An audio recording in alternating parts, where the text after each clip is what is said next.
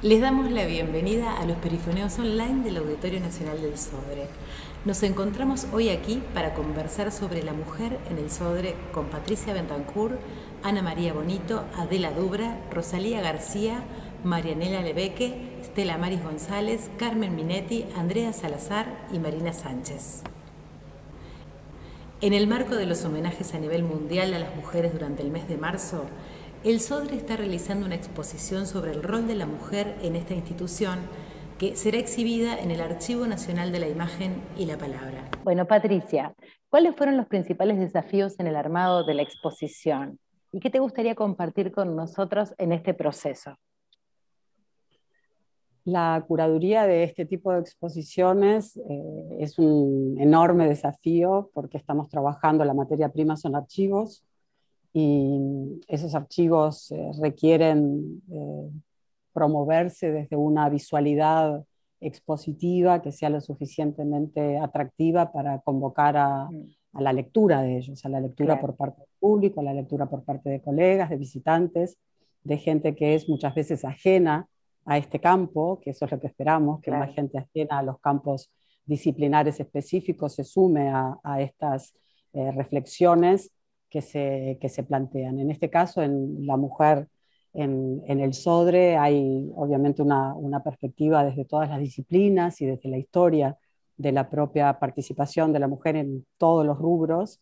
También, por ejemplo, la figura de, de mujeres que no están dentro de la práctica disciplinar como, como, es esta, pero sí que han sido pivot y fundamentales para que todo esto sea posible, ¿no? Como el caso del homenaje que se le está haciendo a, a De la Reta, a la doctora mm. De la Reta. Sí. Y, y, los archivos son, viven en la medida, que es una obviedad lo que estoy diciendo, pero en la medida que los reactivemos, los activemos, los compartamos y que se puedan, que se puedan estudiar, investigar.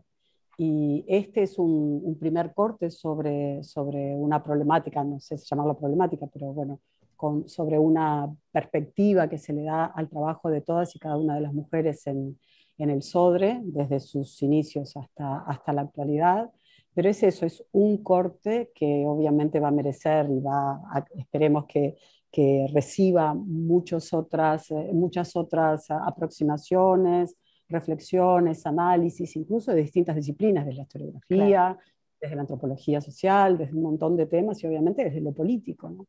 Porque mm, eh, este es un, un, fenómeno, una práctica que la de incluir, la de, no de incluir, incluir es una muy mala palabra, la de presentar, en, presentar el, el, cuerpo de trabajos de mujeres y de otras diversidades en, en, el campo de todas las prácticas y en el campo de la cultura, que es lo que nos toca a todos nosotros.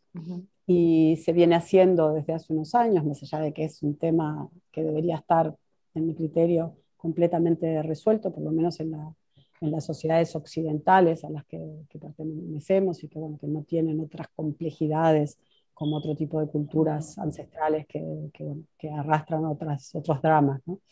Pero mm, muchos museos, muchas galerías de arte, muchas instituciones y academia y, también espacios no convencionales vienen modificando sus colecciones, sus lecturas de la historia del arte y del arte incluso contemporáneo en relación con, con ese pasado que se ha invisibilizado hasta muy poco tiempo, incluso ahora en el presente. ¿no?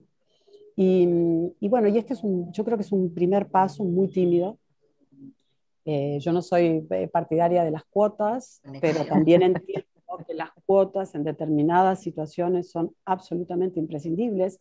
Basta ver, sin ir muy lejos, la situación. Digo, ahora estamos todas acá, todas somos mujeres que, que trabajamos mucho y que tenemos una identidad o una, una posición frente a la, a la diversidad identitaria muy, muy, creo que muy firme y muy clara pero si vas a la ciencia, si vas a la academia, si vas a los puestos realmente de toma de decisiones en, el ámbito político, cómo están conformados los ministerios, las direcciones, falta tanto por, por hacer que, que, más allá de que, de que podamos eh, nosotras tener esa, esa convicción de que, de que, deberían las mujeres estar en un, en una, ni siquiera digo una igualdad, porque no, no, sé si se trata de igualdad, se trata de, había una frase de un diseñador italiano ya mayor que decía, el problema de la sociedad contemporánea es que confunde el concepto y el significado de la democracia.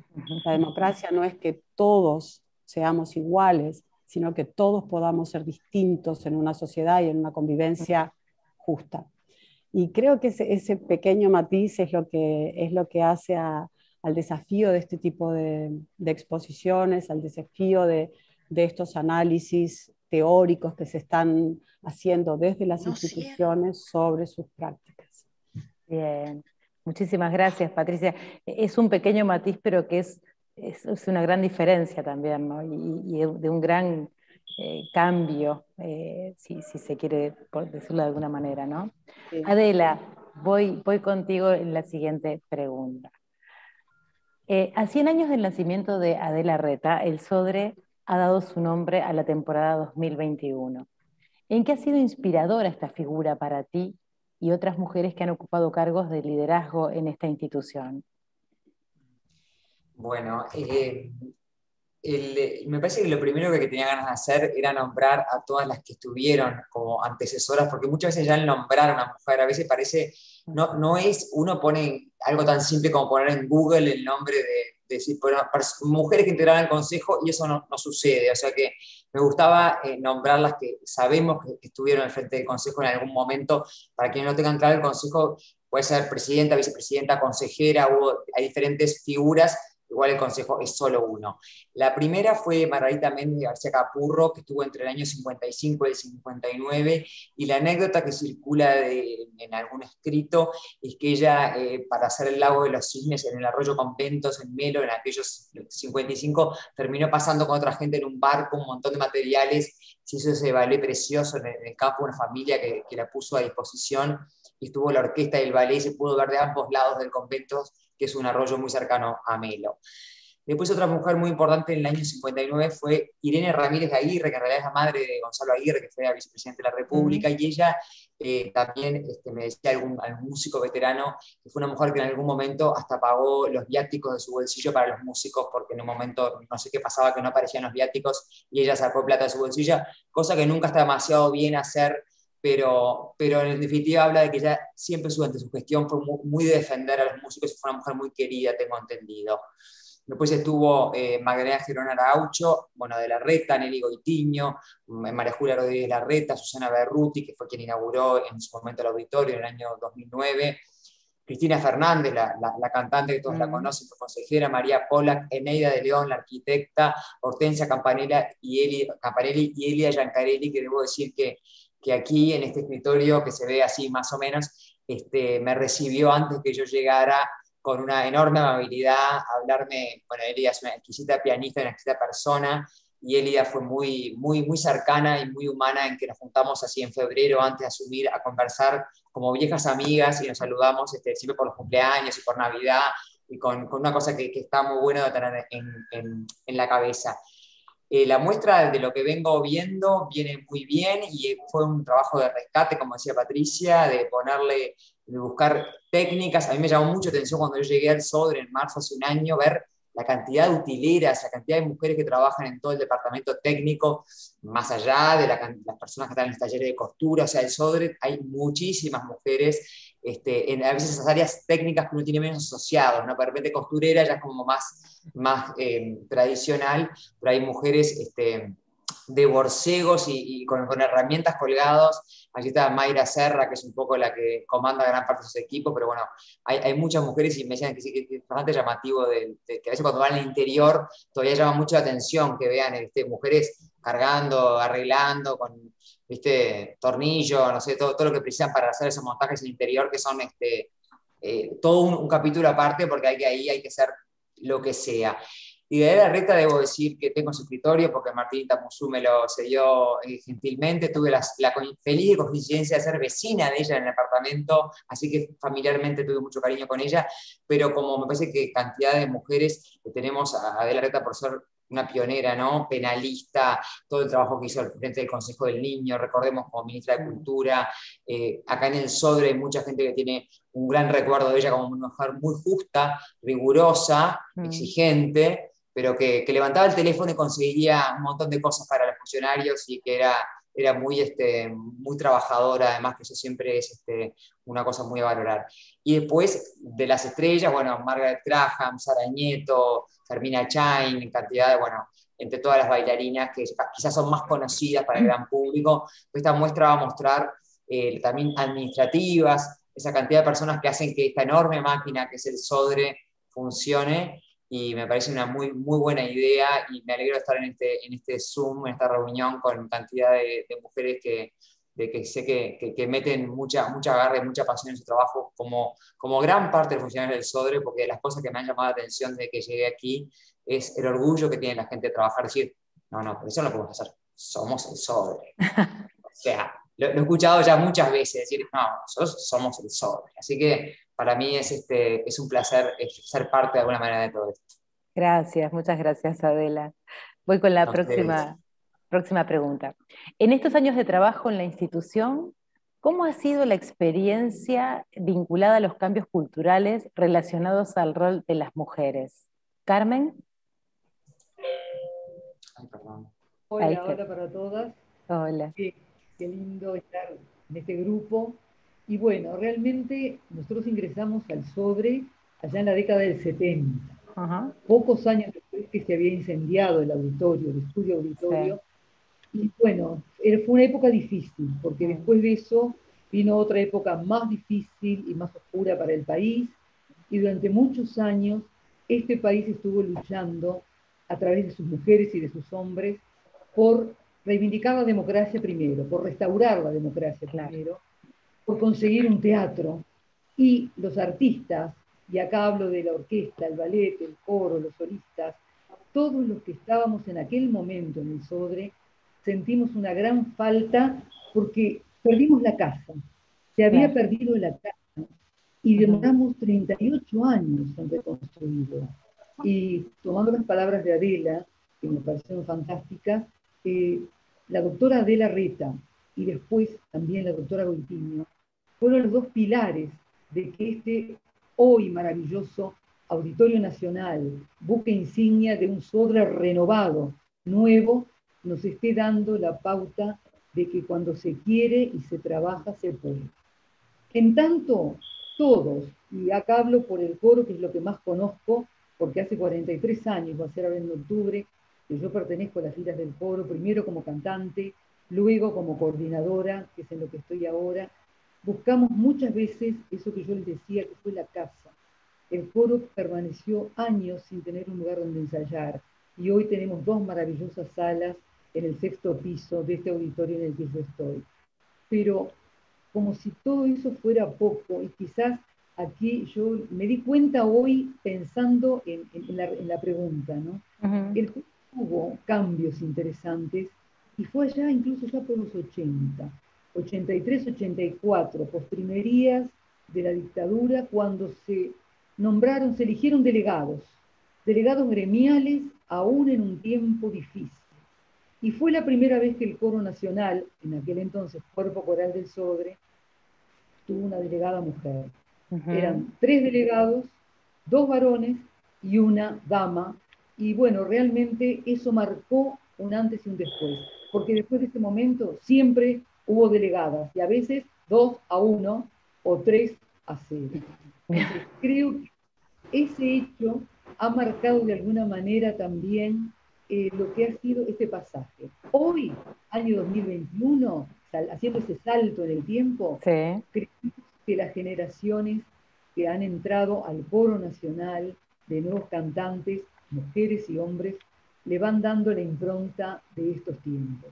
Así como la tecnología nos marca un ritmo en lo técnico y en lo científico y la ciencia y la tecnología, esas cabezas abiertas, esas mm. cabezas jóvenes, que traen voces tan maravillosas como las que tenían los integrantes del coro de aquel entonces, pero hoy quizás sean más dúctiles al cambio.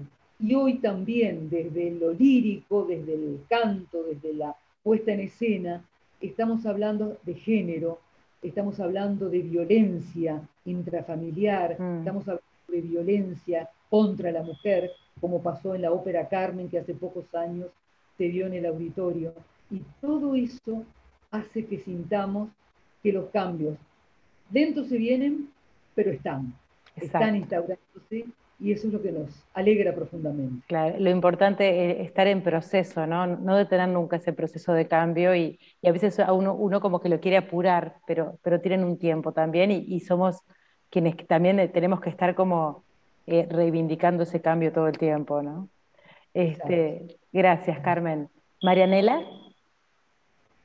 Bueno, eh, no, reitero un poco la, digamos, el agradecimiento con, con, el que han comentado mis compañeras acá presentes. Eh, en el caso de, creo que en el caso de nuestro, de atención al público, eh, uno de nuestros mayores retos ha sido el romper un poco con los estereotipos, ¿no? hay una construcción de que es un, la atención al público es para, para mujeres, es decir, para, son mayoritariamente mujeres las que las que integran el cuerpo, digamos, de acomodadores, de eh, personas de boletería, recepción, personas que dan la cara y que reciben al público cuando llega a cada una de las salas del SODE. Eh, nos pasa, nos pasa constantemente cuando, bueno, cuando tenemos selección de personal, por ejemplo, eh, y estamos trabajando muy fuerte con esto de, bueno, la, igual, la, igualdad y la igualdad de oportunidades es también el poder visibilizar otros, otros rostros que van incluso más allá del género, sino también pasado por otras miradas interseccionales que pueden ir desde, eh, que van desde el género, van desde racialidad, van desde eh, movilidad. Eh, creo que son, son temas que, que, están sobre la mesa y es algo muy interesante que, que como parte del, del, equipo del auditorio lo, lo puedo ver, no, no solamente en atención al público, sino en otras de las áreas. Eh, es algo que se está trabajando, que se está hablando y que obviamente falta mucho para, para hablar, ¿no? Pero también eso de poder eh, desmitificar eh, el, el, tema de atención al público solo de mujeres, ¿no? Porque son, son los rostros que tienen, dan la bienvenida y todos son, bueno, no, es decir, pueden haber mujeres, pueden haber hombres, pueden haber mujeres y hombres en igualdad de, de condiciones, porque nuestra tarea es brindar un servicio de calidad eh, donde lo principal es que la persona que asista a, cualquiera de, los espectáculos que tenemos se vaya con, una, con un disfrute y que con una experiencia adquirida a partir del cuerpo estable que sea. Eh, creo que es una de las cosas que más nos está, nos está ocupando y preocupando, es decir, preocupando y ocupando al revés, eh, desde el área, desde atención al público y también, bueno, trabajándolo un poco con, con otros, eh, otras y otros eh, compañeras de, y compañeros de otras áreas, ¿no? Eh, incluso dentro de, de, nuestro, cuerpo, nuestro cuerpo de trabajo. en mi caso particular, bueno, yo llevo un tiempo relativamente, bueno, hace unos años que estoy en el auditorio y, y también me pasa constantemente esto de, bueno, ser, el ser mujer, el ser una mujer negra, el ser una mujer migrante, me, me, atraviesa varias, varias elementos, digamos, ahí y, forma parte de la experiencia también que eh, compartimos en, en, el trabajar con, un grupo de chicos y chicas que son relativamente jóvenes, muchos de ellos primeras experiencias laborales. Eh, entonces, sí, eh, entonces creo que eso también nos, nos desafía constantemente porque lleva también un trabajo de enseñanza, ¿no? Claro, exacto. Mujeres, hombres, y son temas que se andan trabajando, ¿no?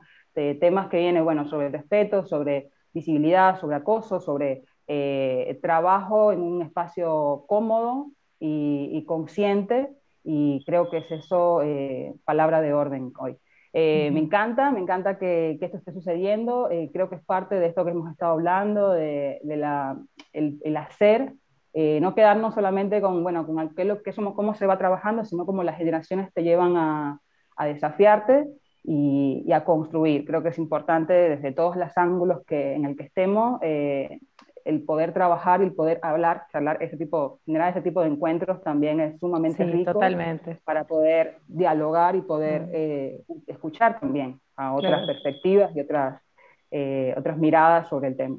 Exacto, y pensaba, pensaba también, Nela, en lo que decías en, en, la sistematización de, o sea, tenerlo como todos los días como algo a, conversar, a poner en práctica y a, poder realmente generar una, una transformación desde, desde lo sistemático, desde lo de todos los días, ¿no? Bien. Tal cual, tal cual. Ana María, muchas gracias. Ana María.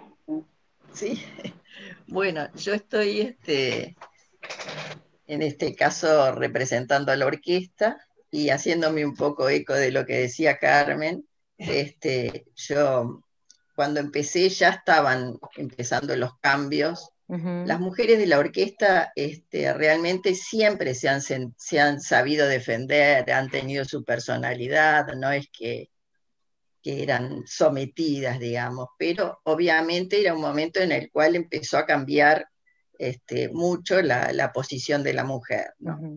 este, y en mi caso, desde la inspección, siempre este, se trató de que hubiera un gran respeto entre todos, que lo más importante fuera la parte humana de las personas y no solo, digo, ser más mediadora que inspectora, digamos, ¿no? este, para, para los problemas que había en algún momento cuando la política estaba muy fuerte, que de un lado y del otro este, había que estar en medio de todos esos conflictos.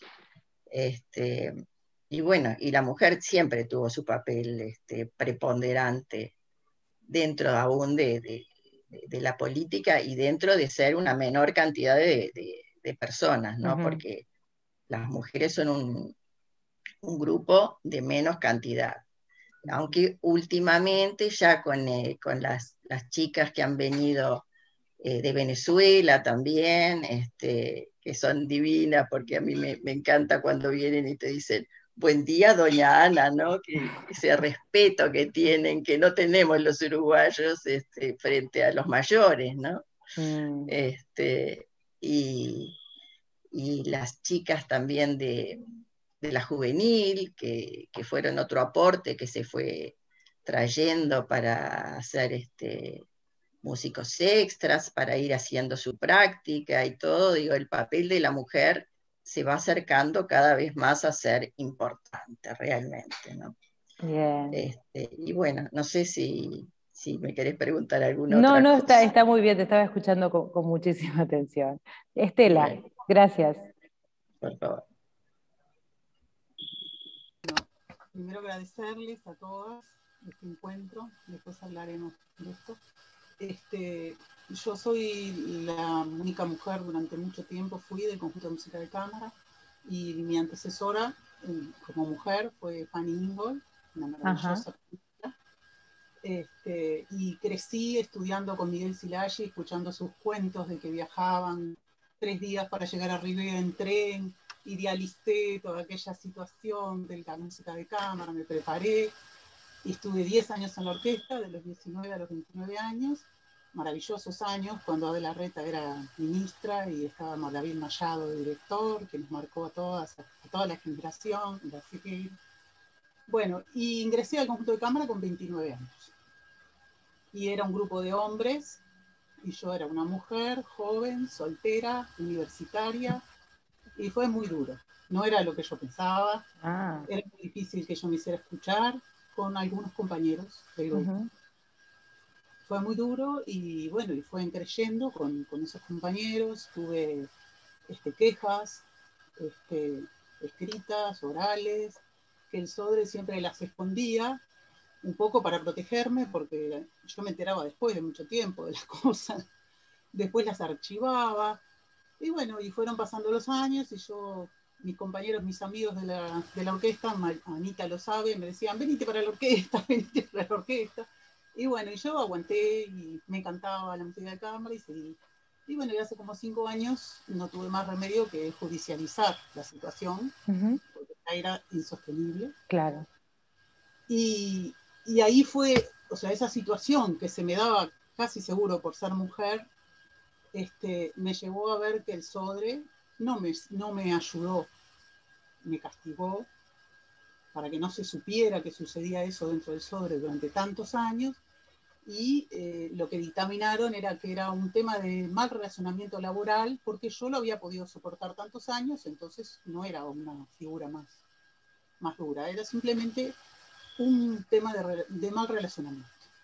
O sea, se me, se me destrató no como mujer, sino como ser humano. Mm. Porque yo era un ser humano que quería hacer lo que me gustaba y no me interesaba perjudicar a nadie, simplemente hacer mi trabajo. Fue terrible, la verdad, por suerte ya pasó, pero fue muy duro.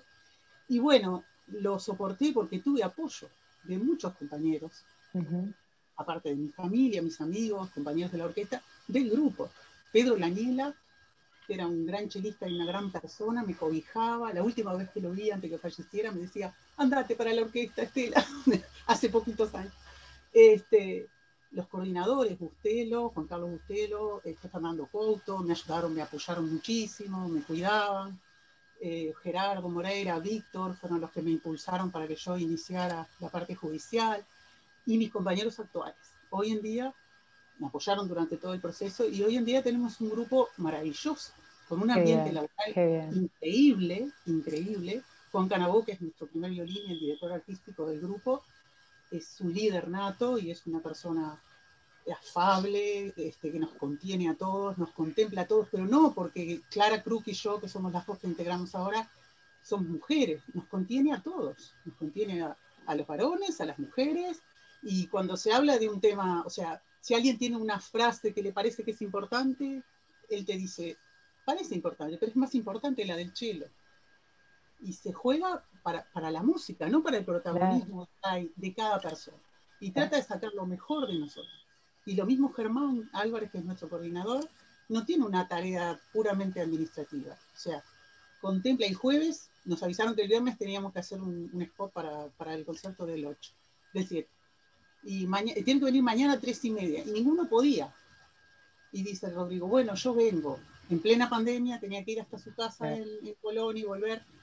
Y nos juntamos y dijimos, no, no puede ser. Y bueno, y Juan habló con Germán y Germán arregló y vinieron a mediodía y nos quedamos todos, hicimos todos el spot, doce y media estábamos afuera para irnos para casa.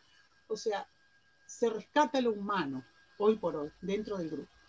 Y tiene un resultado humano maravilloso y un resultado profesional maravilloso. Entonces yo creo que hay un cambio muy importante. Y esto que estamos haciendo hoy, yo no quería hablar de esto y mi gran amiga y mi abogada María del Carmen González me dijo, Estela, te están dando una oportunidad.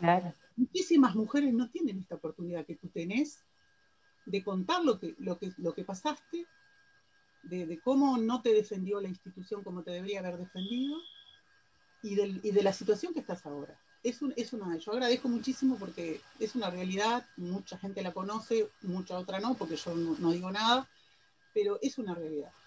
Lo que pasa es que justamente es lo que tenemos que poder exponer para que esto cambie realmente, porque eh, no tenemos que aceptar ese tipo, esos lugares en ningún ámbito artístico, ni laboral, ni, en el SODRE, ni en ningún sitio, ¿no? Yo considero que como mujer, a mí el SODRE me trató muy bien. Yo cuando quedé embarazada, tuve un embarazo de quietud porque tenía 41 años, uh me ayudó, María Julia Camaño hizo que pudiera quedarme seis meses con mi hijo porque no convenía por los viajes al interior, el medio horario. Tuve ese privilegio, o sea, como mujer me cuidaron. Cuando fue el viaje a la Antártida, yo dije, tengo un niño chiquito, yo no me puedo ir a la Antártida, y si me quedo allá tres meses porque no puedo salir, me liberaron. O sea, como mujer, en ese tipo de decisiones me ayudaron. Como ser humano, no. Como ser humano, fui mucho tiempo maltratada.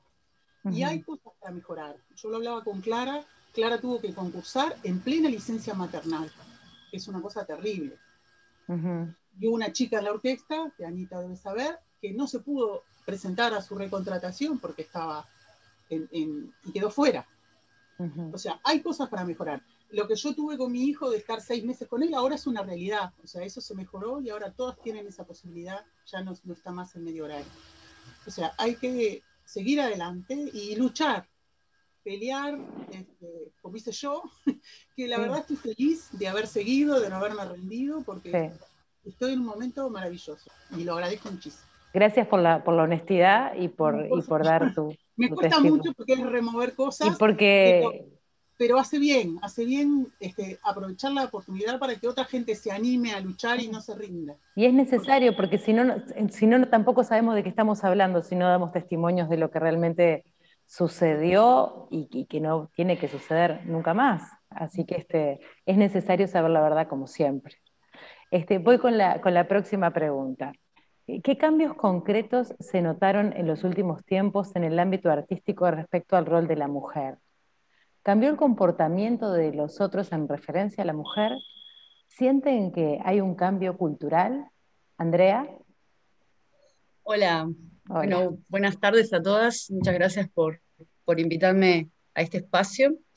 Este, pensando en esta pregunta y un poco como yendo para atrás en mi historia en, el SODRE, que hace más de 30 años que estoy, me doy cuenta que tengo como diferentes etapas, que, estoy en el SODRE y a su vez estuve en la Escuela Nacional de Danza ocho años, ¿no? Entonces, eh, eh, entré por el ámbito del ballet. El ballet tiene una, como una historia muy fuerte de las mujeres, de mujeres en, el ballet, además en la época que yo hice la escuela de danza estaba Margaret Graham. Entonces, no sé, yo vivía en un mundo donde las mujeres tenían gran poder realmente y, también eh, negociaban con hombres, con Margaret, que negociaba algunas cosas, escuela, salones, teatro, con una, digo, con una impronta muy fuerte. Pero me daba cuenta yo como niña ya, porque entré a los nueve, hasta los 17 estuve ahí, cómo al salir a la calle era diferente. ¿no? Cómo, cómo esa situación dentro del mundo de la danza y del ballet, porque capaz que en otras danzas no, este, era un poco diferente. Yo me encontraba con las mismas cosas, ¿no? Afuera, con, con gente, hombres que te gritaban cosas por la calle, eh, un hermano también un poco sobreprotegido por ser hombre y que hacía menos cosas en la casa. O sea, vivía una realidad muy diferente.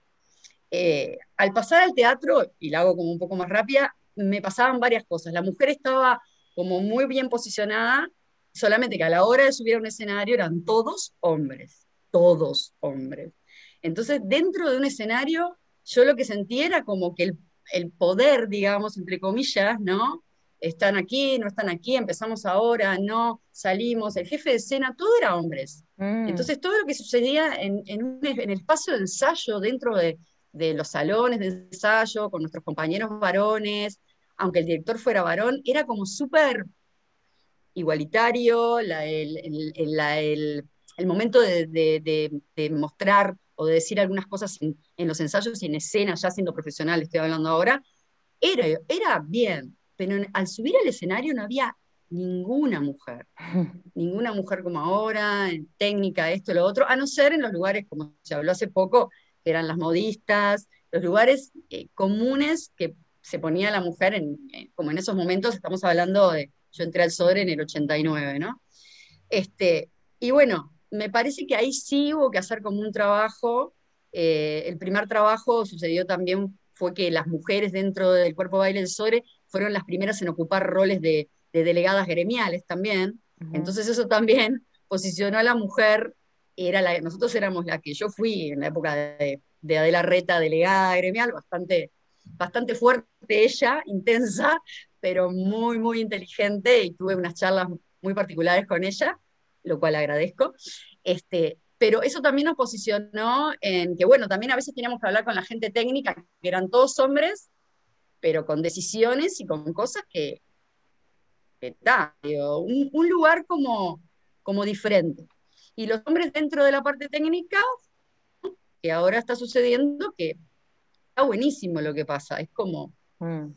Eh, la mujer hace como las mismas, las mismas tareas, incluso en la parte de, vestuario hay hombres, en la parte de maquillaje hay hombres y solo eran mujeres en mi época, o sea, fue cambiando. Y ahora quería hablar un poco del, en el rol que estoy ahora, que es la coordinación del área contemporánea de la Escuela Nacional de Danza, de la cual realmente estoy aprendiendo un montón, porque los gurises ya no hablan de estas cosas, ya no hay un género tan particular. Es muy lindo lo que sucede, es como muy, no sé cómo decirlo, muy respetuoso.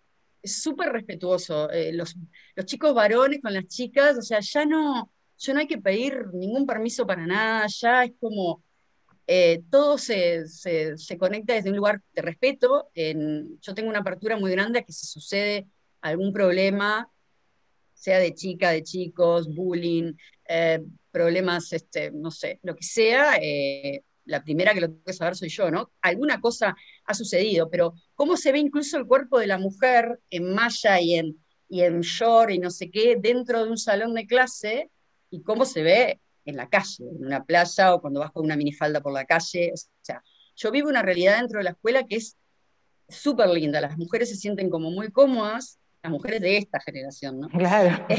De esta generación. Aclarar, viene aclararlo. Sí, y nos están, nos están haciendo, nos están enseñando, están enseñando incluso los profes, que son profes cincuentones, sesentones, a, tener otra, o sea, otra postura dentro del salón de clase y dentro de, todo, ¿no? Entonces, me parece que es un camino que está como por recorrer, pero yo siempre veo el vaso medio lleno y no el vacío, ¿no? Soy así como más o menos en la vida, pero me parece que ya no hace falta hablar de estas cosas tanto en la escuela, por ejemplo, en ah, mi área. Andrea, lo cual está buenísimo que no lo tengamos que hablar todo el tiempo. Y permitime una acotación a, todo esto que tú decís. Yo también soy docente del área contemporánea y trabajo con Andrea en la escuela. Y también lo importante es que ellos a nosotros, como generación de mujeres más grandes, o eh, mujeres y hombres, también nos enseñan. Porque nosotros, eh, por lo menos en lo personal, hay una información eh, cultural muy, pero muy arraigada, machista, donde se va transformando y yo los veo con una libertad que a mí me ayudan a poder seguir transformando, porque la transformación también tiene que ver en el interior de cada una de nosotras, eh, que educamos, que formamos, que comunicamos y que además ellos todo el tiempo nos están, yo me voy siempre pensando eh, de los encuentros en, la escuela, este, lo que ellos, eh, el respeto que tienen y que no es un tema este, o sea, que no es un tema para ellos eh, si sos hombre, si sos mujer, sos persona, tenés derechos humanos, tenés derechos a, la vida y a, la felicidad, como es la base de, lo que estamos hablando, ¿no? Disculpame la interrupción, pero quería no, no, no, reforzar esto. ¿no? no, no, tal cual, y además hemos tenido chicas que han quedado embarazadas también. Es verdad. Eh, digo, han tenido ahí con nosotros, digo, ese trabajo de, de cuidarlas y cómo, cómo, cómo terminaron su carrera y toda esa historia, pero mucho más, mucho más natural, sin menos, este, sin menos roces. Y bueno, y ahí yo veo ese cambio, ¿no? Que el cambio me parece que va, que va desde ese lado, eh, nos hacen aprender a nosotros, incluso nos hacen aprender a cambiar las frases, cómo nos comunicamos y cómo decimos las cosas. Y, y, y estar con gente joven realmente que, te hace un cambio cuando volvés a tu casa y, no te encontrás con gente que no está todo el tiempo con gente joven, pero 14, 15, 16, 17, que está, que ya no, no, este, hablas como de otra manera. Ese cambio, ese cambio es, este, es el que está, es el que, es el que promueve el cambio dentro de todas las áreas. Entonces, a partir de ahí, creo que es el, es el crecimiento. Este, yo, evidentemente, pasé por tantas generaciones que algunas cosas, hasta te digo, no, no, me siento, tengo 50 años, pero en algunas cosas me siento como antigua, ¿no? claro. con algunas cosas colgadas ahí, como predispuestas en mi ser, que no puedo creer que las tenga, porque también me siento como muy ayornada con la vida. Eh, sí, pero Andrea, pero igual, están ahí de años. también estamos en, en, un proceso, por eso te decía, es un proceso de cambio. Porque digo, si el cambio no es real y no tiene un proceso, no es un cambio profundo, es un cambio de, a, la moda. Y nosotras, eh, yo hablo un poco también en lo personal, digo, hay un cambio interno de cambio de ángulo.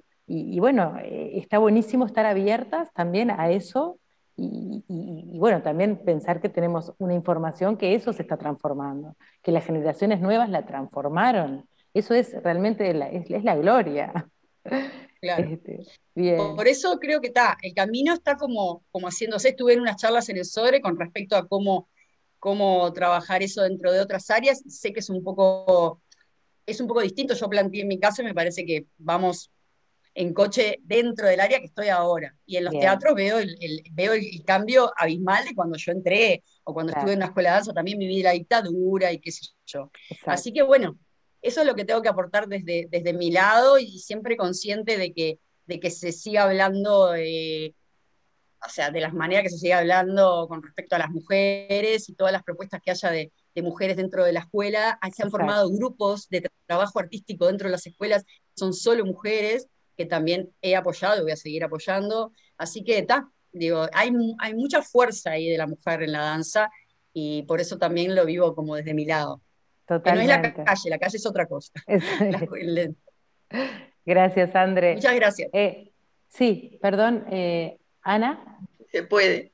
Este, no, porque pensaba también en, los piropos que nos decían antes, este, cargaditos a veces de desubicados en cierto modo, y que nosotros hacíamos jajaja, nos reíamos y nos hacíamos las distraídas y seguíamos. Y ahora ni se, ni se sueña de hacer ese tipo de, de, ese tipo de piropos entre los compañeros. Los piropos agresivos, además, ¿no? Porque los piropos. Sí, no decirle... agresivos, pero siempre con algo sexual y cosas así. No, porque decirle algo lindo al otro está bueno también, ¿no? Claro, mujer, eso mujer, hombre, o qué linda. que, decirlo. Porque también, si no, que, no nos aprieten una cosa de no decirnos nada por el miedo. De darle al otro una cosa linda es linda. Claro, siempre y cuando sea con respeto y con este y con cariño, no con esa cosa que, de la que estábamos acostumbradas a recibir, que era, era, de miedo. Sí, sí. gracias. Eh, gracias, André. Rosalía. Ahí va. Hola, ¿qué tal? Bueno, agradecer por participar. Este, yo tuve la suerte de ingresar a, a trabajar en el auditorio en el 2010, que fue cuando se reabrió y bueno, éramos, eh, yo, actualmente trabajo eh, de productora técnica en el área técnica y la verdad que me da mucho, mucho orgullo este, ser parte de, del área técnica dentro del auditorio. Y, y también yo pensaba este, desde que empezamos hasta ahora, y en realidad, si nosotros nos ponemos a ver los números de cantidad de técnicas y técnicos que tenemos, este, de 70 que somos, son 35 y 35 o sea, somos la misma cantidad de hombres que de mujeres, y mm. eso yo creo que también este, se ve en, todo lo que tiene que ver este, con lo que, vemos del trabajo y del escenario y de la gente que viene. Este, siempre nos da mucho orgullo que viene mucha gente del exterior, porque vienen diseñadores, montajistas, compañías, y, se, y, le llama la atención la cantidad de mujeres que hay en el escenario. Este, en muchos teatros de Argentina, de Brasil, de Chile, mujeres en maquinaria no hay, este, en luces muy poco, entonces como que empieza el montaje y aparecen y todos empiezan como, pero ¿qué? Dos mujeres trabajando este, en el escenario y, y la verdad que después hemos tenido muchas devoluciones positivas de lo que se sorprendieron y, de la buena imagen que se van este, de ver trabajando a la vez este, hombres y mujeres a la par, porque en realidad este, se hacen los mismos trabajos. Y, bueno, yo empecé este, en el 2010 cuando todavía no, no, estaban los talleres formados, este, los talleres de producción. Entonces los que entramos éramos un grupito que todos hacíamos todos y después se fue dividiendo en áreas y, y, fuimos pasando por diferentes este, secciones. Y bueno, yo ahora hace años que estoy en producción, pero este, lo bueno que, que vemos que los cambios, se ven los cambios socialmente, porque son cambios que todos los vemos y pasan en la sociedad, por suerte, pero también es un orgullo ser parte de algo que es un ejemplo y que podemos este, decir que de otros lados nos han felicitado y, y es un orgullo, o sea, que, que, eso pase y uno ser parte del equipo. Bien, sí, tal cual, es verdad eso y además es, es ponerlo en práctica, no solo decirlo, eso es una muestra de que la práctica es donde... funciona. Exacto, que funcione realmente. Muchas gracias, Rosalía. Marina. Bueno, gracias a ti. Marina, ahí va. Hola, ¿qué tal? Bueno, la saludo, estoy muy contento de, poder participar, este, gracias por la invitación. Y bueno, desde el, desde el lado del ballet, desde acá este, me sumo un poco a, las palabras de Andrea, este, porque el ballet en cuanto a, la parte de danza, la parte artística, digamos, este, desde la década del 30 la mujer siempre ha tenido como un rol un poco protagónico, de ser protagonista, ya sea como bailarina, como directora, grandes coreógrafas también hubieron a lo largo de, los años, en el cual la mujer tuvo un lugar. Sí, un poco como, no acompañado un poco a lo como dice Andrea, ¿no? A lo que estaba pasando afuera, ¿no? Claro. Y bueno, eh, con respecto al Sodre, si yo me remonto a, los años que, hace que estoy, también me ha pasado de, poder eh, vivir, yo entré en el año que estaba justo a De la Reta, por el 96 más o menos, y, bueno, y era una imagen muy fuerte, muy decidida, este, ella decía que, quería que iba, que iba a, cumplir el sueño de, la casa, y, en ese momento realmente era como una fantasía, digo, porque si bien todos los cuerpos estables peleábamos y luchábamos, era lo que más queríamos, esa casa, esa contención, no estar más por todos lados haciendo nuestras cosas, este, habían pasado tantos años sin, que eso se, se, pudiera cumplir, que era como, como, como, bueno, era como pedir algo o, soñar algo que, que, pensábamos que iba a ser imposible. Mm. Y bueno, y, realmente se, se, cumplió y hoy por hoy este, nos llena, creo, de orgullo a todos, a todos los cuerpos estables y a todo el equipo, porque es, es, es la vida que trajo esta casa, ¿no?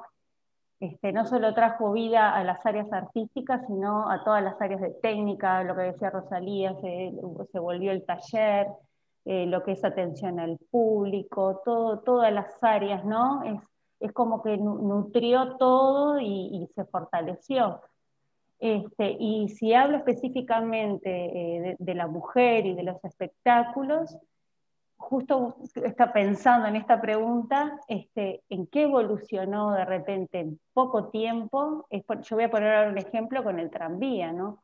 La primera vez que se hizo el tranvía fue en el 2011, mm. Andrea, ¿te acordás?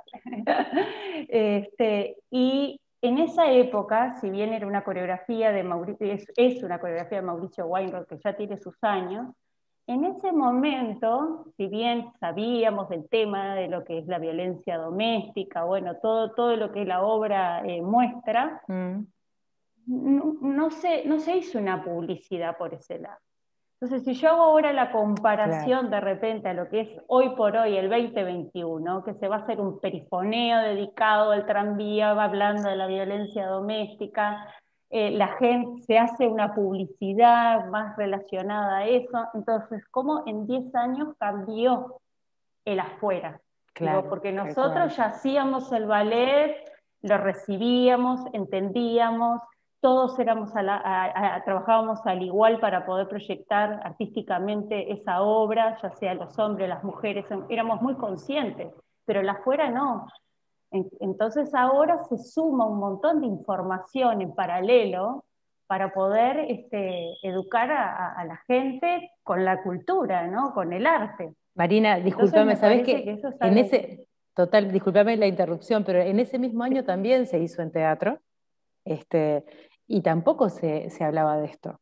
Este, se hicieron paralelamente eh, en teatro y creo que fue yo me acuerdo. unos meses de diferencia, porque fuimos a, justo estábamos como conectados en ese momento. Yo me acuerdo, me acuerdo. Y, y tampoco fue algo que se, que se expuso arriba de la mesa. Este, Exactamente. Entonces, como está ahora, como eh, es verdad, adhiero totalmente a, tu opinión, porque, bueno, a la opinión de todas, por supuesto, pero, pero es verdad lo que decís y, y es una obra de Tennessee Williams que habla de esto y, y, realmente es, es, merece esa exposición. Eh, pero estás hablando de un cambio en 10 años, ¿no? Que en la historia es poco. 10 años que ahora pensamos es muy poco, pero bueno, 10 años, 10 años de de que, no sea interno, de que no sea, él, lo muestra al teatro, deja el mensaje y todos nos vamos a casa calladitos, sabemos lo que significa, pero nos quedamos callados, no comentamos nada.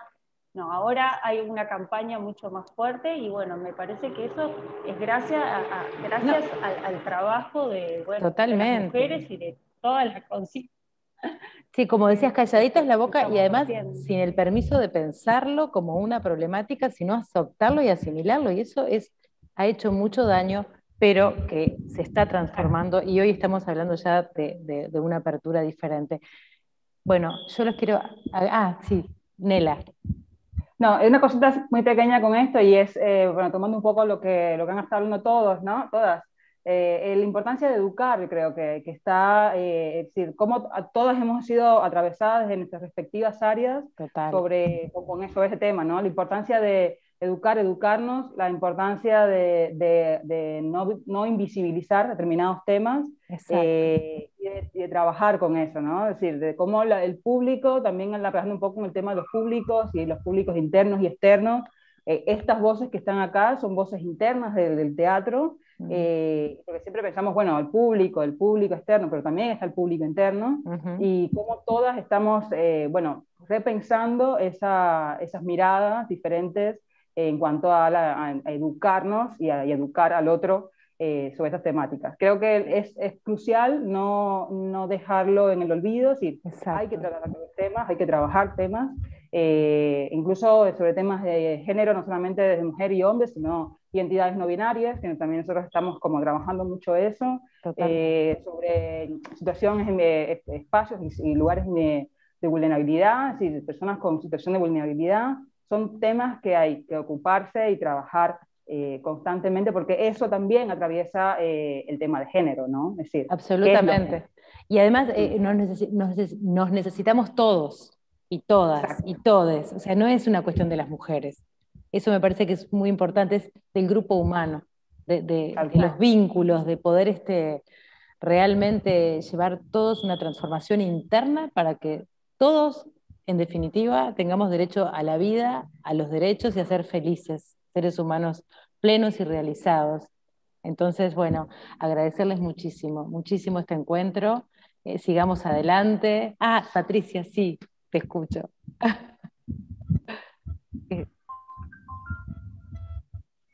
sí, ahí. perdón. No, no, está bien. No, que no, no quería cerrar, ya que hablamos de la exposición, de que toda la investigación y la curaduría en realidad fue hecha por Magdalena Trendones, que es la directora del Archivo Nacional de la Imagen y la Palabra, y que lo mío fue una apoyatura curatorial y que estuve feliz de trabajar con ella y con todo el, con todo el equipo del archivo. Y, bueno, y enhorabuena a todas estas, todas estas iniciativas que, que se están sumando. Muchas gracias. Muchísimas gracias por este encuentro y, y seguimos juntas y juntos y juntos. Igualmente. Dale. Hasta la próxima. Muchas gracias. Chao. Gracias. Chao. Besos a todas. Muy lindo verlos. Nada, chao, chao, chao. Hasta prontito. Gracias una vez más por acompañarnos en Perifoneos Online.